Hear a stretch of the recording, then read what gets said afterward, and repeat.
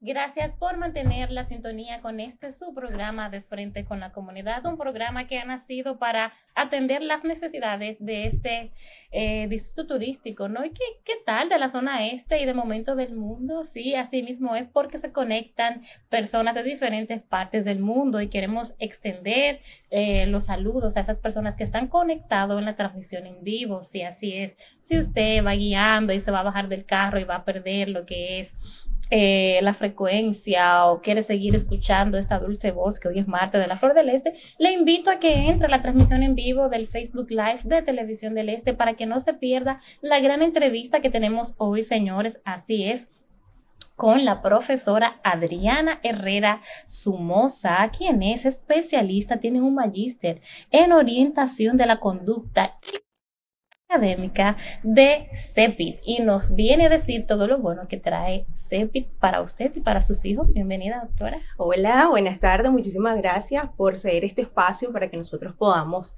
traer lo nuevo que tiene CEPIT para este nuevo año escolar. Así que un placer estar acá compartiendo con ustedes y bueno.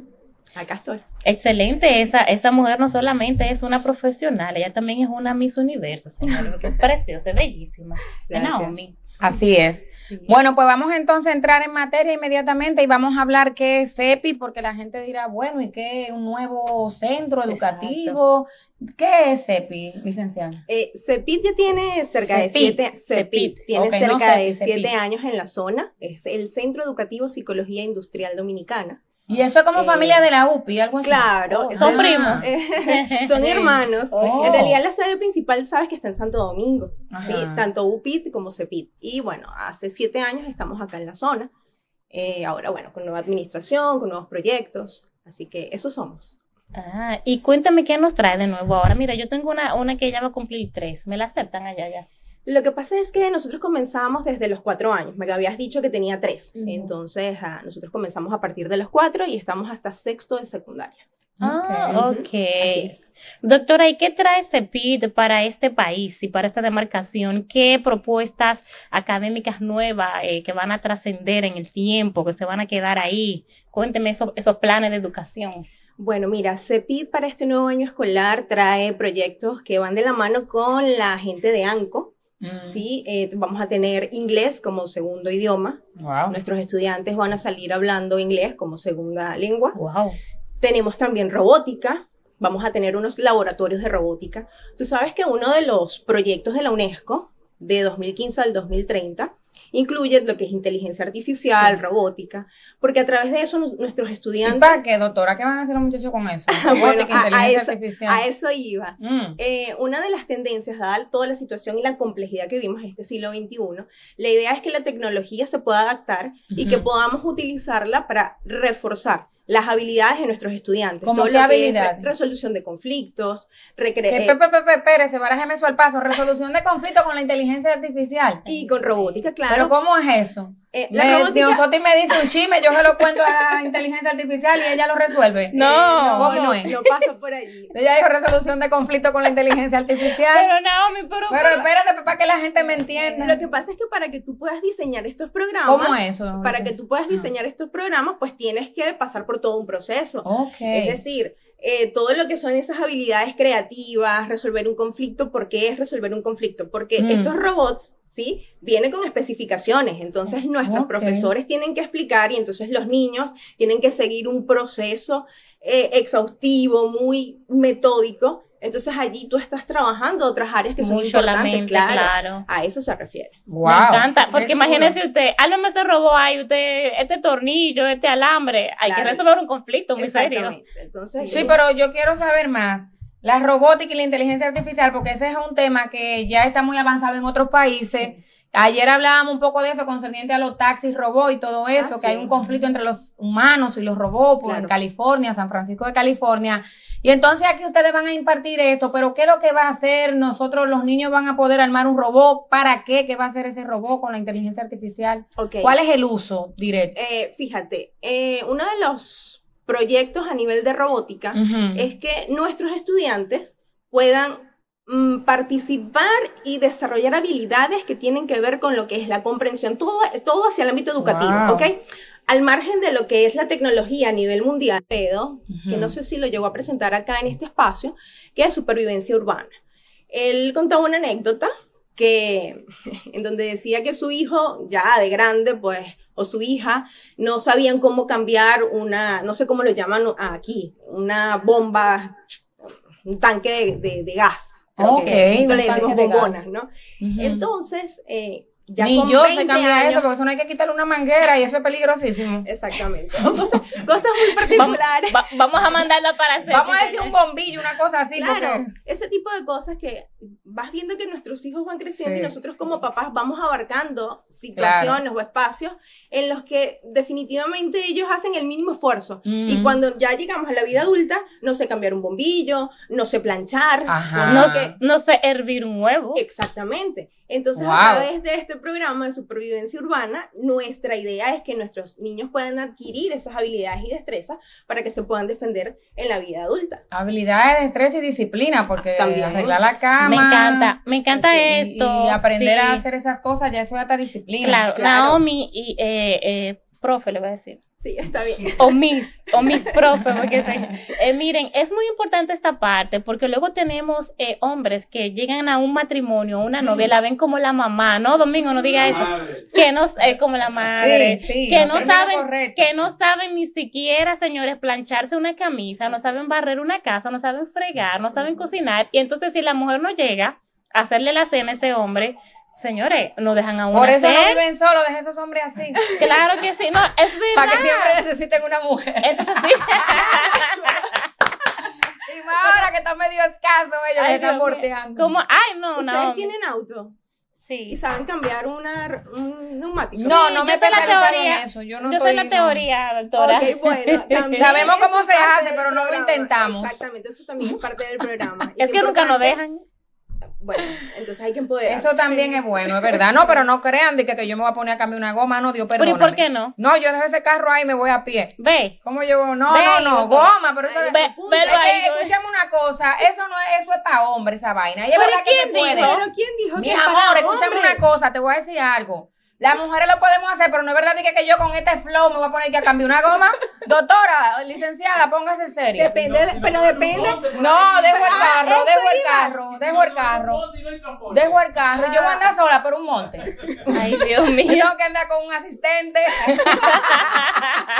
Pónganse en, esto seriamente, que a mí no me gusta la teoría y la práctica.